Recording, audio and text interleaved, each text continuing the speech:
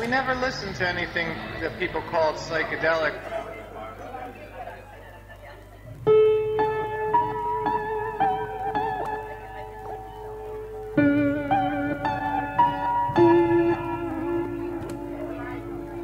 I understand why they say that because we use a lot of unconventional sounds.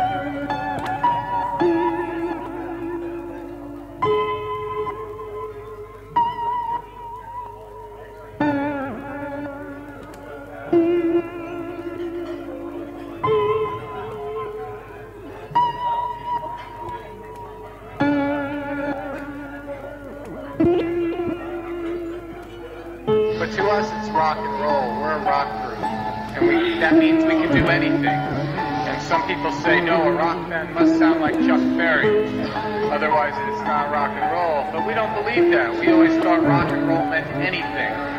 That you that there are no rules. So we never go by any rules. We just make it up as we go. And uh, however anybody wants to describe us or categorize us, that's what journalists are for.